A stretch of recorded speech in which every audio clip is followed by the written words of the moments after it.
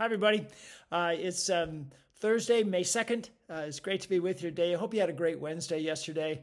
Uh, I, I, hope that uh, as you were opening your eyes to see the kingdom around you, that, uh, that you got some insight into that, that you could see maybe a person of peace in your life, that you could see God at work in the heart of another and, and how you fit into that.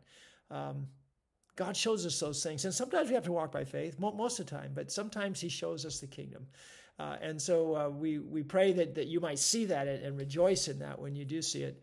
Um, and lots of times we want to see the kingdom the way we measure the kingdom as opposed to how God is working. Uh, and, and so may He open our eyes to see what He's doing, uh, not maybe our ideas of how of what He should be doing. Huh? um, we're going to finish this section that we started yesterday, and I and I love this. I thought this was a great way to finish the week to show the joy that Jesus takes uh, as, as we rejoice in knowing Him uh, and in knowing His peace and in seeing the promises of God kept in Him. Uh, to, to, today, we're going to see the, the joy of Jesus, His heart towards us. Um, I, just think that's an awesome insight as well. How much He is for us and He walks with us and He rejoices with us. Okay, so here we go. So this is falls on the uh, heels of what we talked about yesterday. The disciples came back. Uh, they were re- they were rejoicing because uh, they they saw the kingdom. Lord, even the demons submit to us in Your name. And Jesus says, "Yes, I saw that, but rejoice uh, more in that in that Your names are written in heaven. Right? That that uh, you're you're part of the kingdom." And then it goes on. At that time, Jesus, full of joy through the Holy Spirit. So Jesus was both true God and true man. Uh, uh, he was full of joy uh, um, as as a um, as as true God, uh, and as true man, he was he was full of joy, and the Spirit was also there. Uh, filling him himself him with joy, just as the Spirit of God is with us, filling us with joy. so so uh, here we go here. So it says at that time Jesus full of joy through the Holy Spirit, said, I praise you, Father, Lord of heaven and earth, because you, you have hidden these things from the wise and learned and revealed them to little children. Yes, Father, so this was your good pleasure. You know, the, the Paul says once, I, I, um, I determined only the foolishness of the gospel. That's all I, I, I just shared Jesus with, with people because that's the power of God for salvation.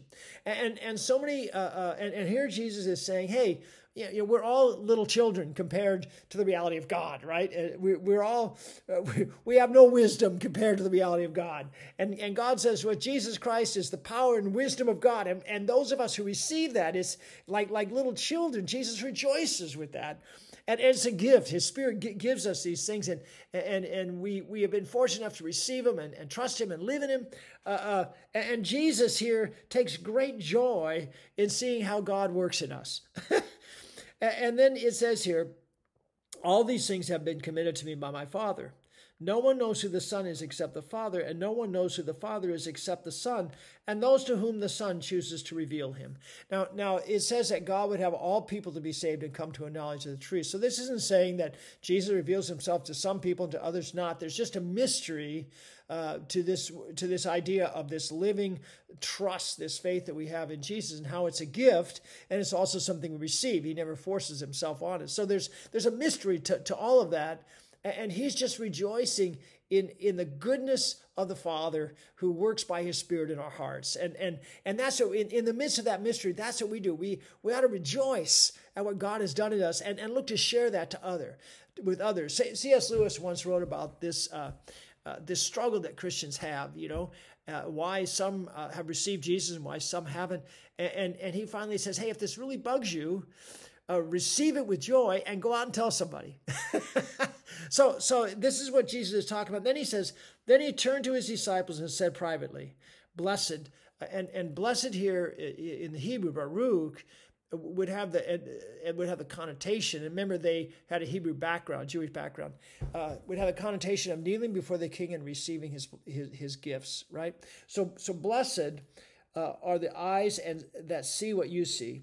For I tell you that many prophets and kings wanted to see what you see, but did not see it, and to hear what you hear, but did not hear it. You have uh, been blessed, uh, um, both to, to live in this moment, to see the kingdom of God come here in me.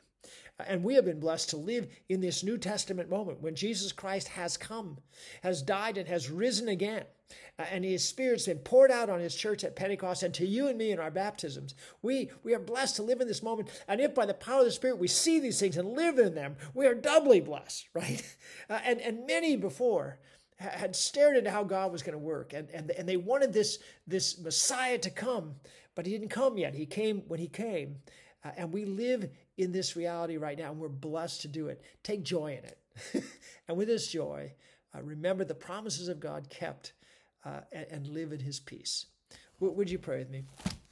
Uh, dearest Jesus, we thank you that you revealed your heart for us here, that you take joy uh, as, um, as you see the joy we have in seeing the kingdom come.